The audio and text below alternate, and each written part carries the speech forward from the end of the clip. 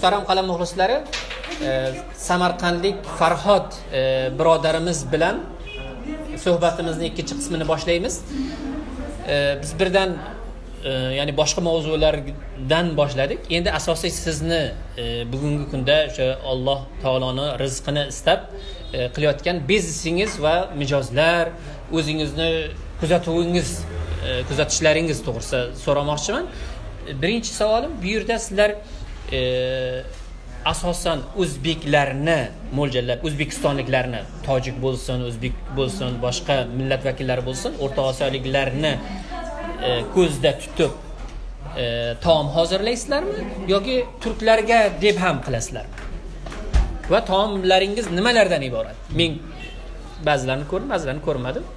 Biz avvalambor niyatimiz o'zimizni o'zbek milliy oshxonamizni jahonga tanitish Mhm. Siz dunyoda ko'p kelgansiz ko'p joylarda bo'lgansiz qayerga borsangiz bizni o'zbek oshxonalarimiz birinchilar qatorida turadi Mm. ya'ni mazasi sifati kaloriyasi Mm. jihatdan o'shaning uchun biz avvalambor bu o'zbek oshxonamizni o'zimiz milliy, oshxonamizni jahonga tanitish. Bu o'zbeklarga moslab qilasizlarmi? Boshqa millatga qarab e, mo'ljallab qilasizlarmi degan savolingizga. Bu atrofda juda ko'pchilik bu o'zimizni mm, o'rta osiyo xalqlari ishlashadi savdo bilan kelishadi va boshqa boshqa ishlar bilan kelishadi. O'sha ko'p bo'lgani uchun mana shu joylardan bir oshxona ochsak o'sha vatanni sog'inadi. Bir kelsa ozgina bir o'sha vatanimizdan bir bo'lak. Mm. yaxshi dekoratsiya juda ajoyib qilingan. Milliy e, ozgina- ko'rinishlar. ozgina bo'lsa ham o'sha kelgan payti sog'inchlari ozgina bo'lsa ham bosilsin degan maqsadda o'shani mo'ljallab qilganmiz bunga yuzdan bir yetmish oltmish foiz erishyapmiz desak yolg'on bo'lmas inshaalloh ya'ni muxlis e, bu mijozlaringiz mijozlarimiz juda xursand mamnun. Aytishyapti biz xuddi samarqandga o'zbekistonga borganday bo'ldik deb men ham shu ya'ni registon otini ko'rib bu yerdagi dekoratsiyalarni ko'rib suratlarni ko'rib samarqandga registonga borgandek bo'ldimda faqat bitta narsa ko'rinmadi. Samarqand noni ko'rmadi bormi sizlarda? Endi bu samarqand nonini boshqa joyda qilish juda mushkul. Mana shu gap aytiladi. Ya'ni shu afsonami? Yo'q. Yoki nima haqiqat? Ya'ni qaysidir ma'noda afsona bo'lishi mumkin lekin qaysidir ma'noda haqiqat. Men mana shu sohada bo'lganim uchun sizga aytyapman ya'ni biz rossiyada bo'lganmiz. Rossiyada o'sha nonni chiqarishga harakat qilganmiz. Chiqmagan o'xshamagan. Rossiya u tomonda tursin. Balki o'zimizni toshkentda o'sha nonni chiqarmoqchi bo'lganmiz. Chiqmagan o'xshamagan. Nega chiqmaydi? Ya'ni tandirda loyi to'g'ri emasmi? Havosini olib kela olmaysiz. Suvi o'sha tandirda o'zi ya'ni ollohni bir e, mo'jizasi. Ya'ni samarqand uchun atallik ya'ni samarqandga xos bir narsa. ya'ni samarqandga xos deb bilaman. Bekordan bekorga bu bobomiz amir temur samarqandni o'sha davrdagi eng kuchli e, imperiyalardan bittasi bo'lgan davlatda e, samarqandni poytaxt qilib tanlashga menimcha Ya'ni bekordan bekorga tanlamagan. bekordan bekorga tanlamagan. Shahrisabzni kattartirib poytaxt qilsa bo'lardi uni qo'yib kelib samarqand. juda kuchli siyosatchi bo'lgan. E, islomiy tomondan ham juda ham ilmlar kuchli bo'lgan. E, bu jismoniy tomondan ham juda kuchli e, ilmlarga ega bo'lgan. Qolaversa jang masalasi bo'yicha kuch- kuchli Mahorati. strategik strategiyasi juda kuchli bo'lgan sarkarda hisoblanadi. Ho'p endi o'sha yerda bitta narsani aytmoqchimanda. Tarixda e, amir temur e, mana siz aytdingiz turklar bizni qondosh do'st e, qardoshlarimiz dedingiz. Amir temur boyazid sultonni aytganiga yurmagandan keyin jangga kirib haqiqatdan o'sha taktikalarini ishlatib oxiri mag'lub etgan va asir olgan. Shu ish to'g'ri bo'lganmi? Endi men sizga bir gap aytsam? Rahmat choy uchun mana bu choynak piyollar ham hammasi paxta gulli o'zbekistonimizdan. Bu aka bu islom o'sha e, man sizga bir nimani tushuntirib aytaman boshdan. Mana biz boshida aytdik biz ikkalamiz tilimiz bir dinimiz bir. Mm. e, har bir dunyoqarashlarimiz birdek Mm. bu ya'ni o'zbek xalqi bilan turk xalqi ikkalasi ikkalamiz o'shanday o'shanday gap bo'ldi. Har zamonda aka meni dunyoqarashim.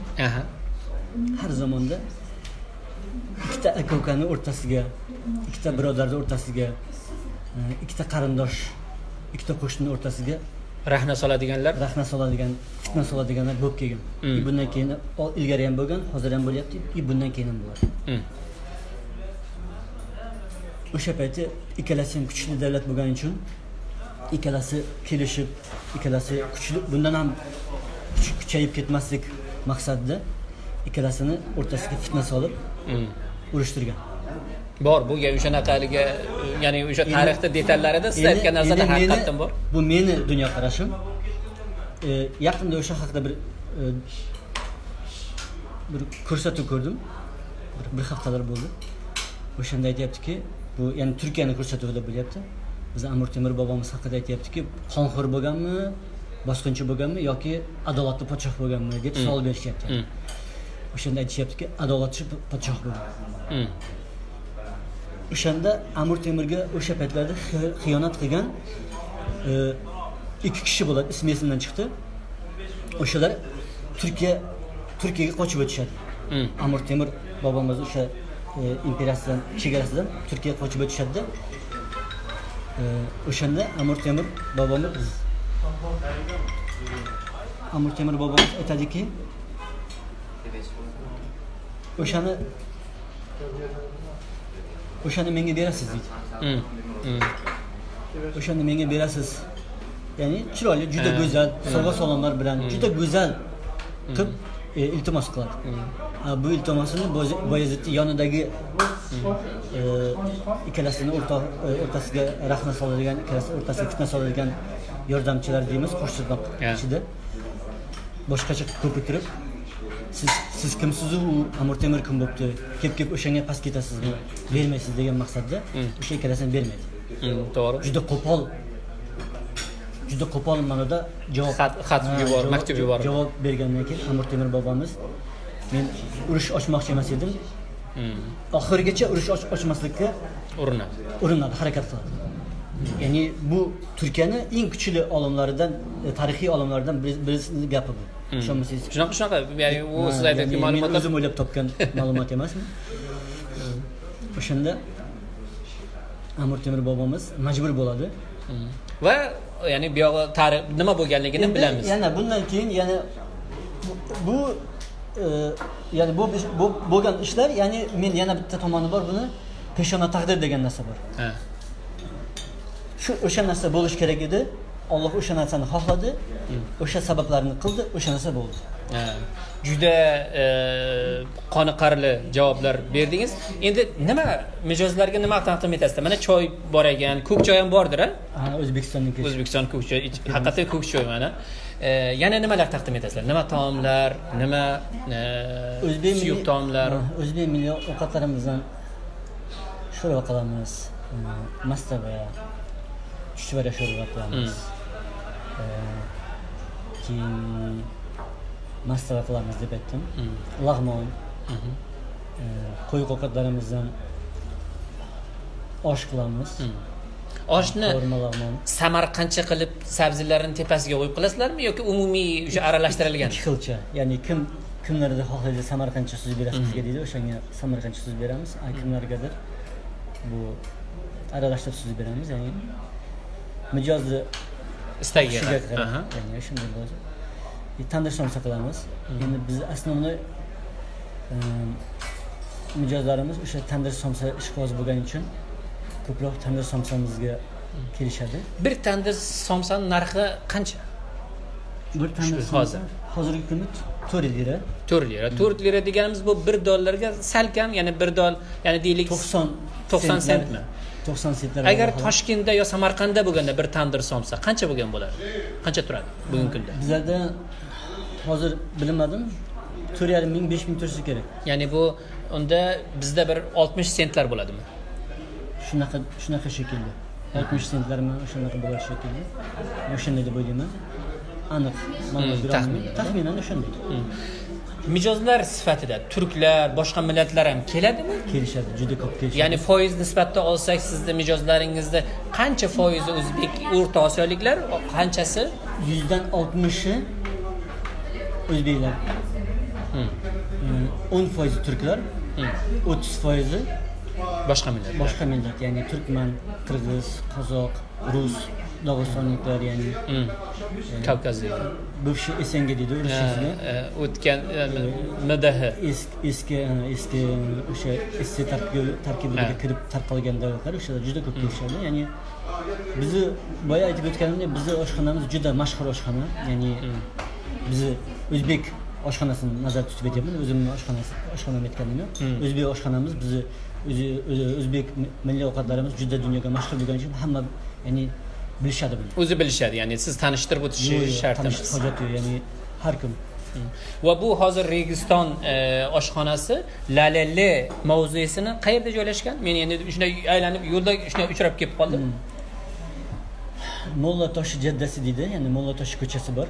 O'sha eng yaqindagi jomemi yoki masjidmi biron bir orientir sifatida qayer ya'ni orientir men sizga to'g'risi turkiyada biroz orientatsiya shunaqasiga borishga bir anaqam bor lekin aniq bir eng yaqinimizdagi biron bir binomi deymanda bu bu ko'chani sulton market bor deyman sulton market degan bir e, magazin bor o'shani ko'chasida joylashgan. Ya'ni eng gavjum ko'chada.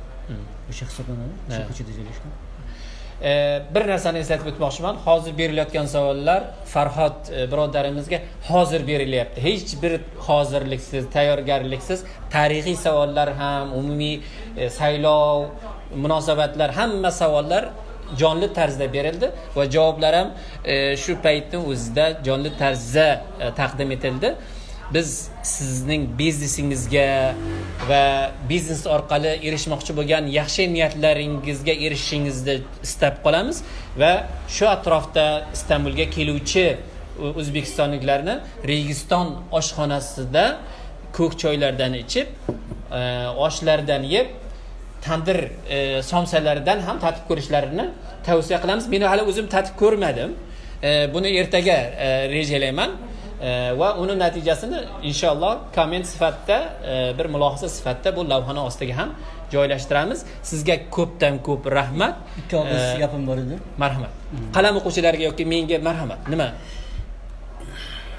Meni hozirgi biroz siyosatga qiziqaman. Ya'ni jahonda nima bo'lyapti? O'zbekistonda nima bo'lyapti? Boshqa joylarda nima bo'lyapti? O'shanga biroz qiziqib kuzatib boraman allohga behisob hamdu sanolar bo'lsin. Hozirgi kunimizda o'zbekistonda juda katta islohotlar bo'lyapti. Shunday. Hozirgi prezidentimiz shavkat mirziyoyev miromonovich alloh qishidan rozi bo'lsin.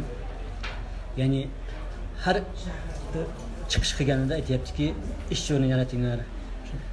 Ozgina bo'lsa ham menga yordam beringlar. Yoshlarga ish suyanaman ko'proq deb bizlarga ko'proq tayanyapti bizni maqsadimiz ya'ni musulmon kishi musulmon odam bo'lgan e, musulmon kishi bu o'sha nuqtai nazardan men sizga javob beraman. O'zimizni xalqimizga foydamiz tegsa. Hech bo'lmasa bir kishi yo ikki kishi yo uch kishi bo'lsa ham ish o'rni yaratsak Mm.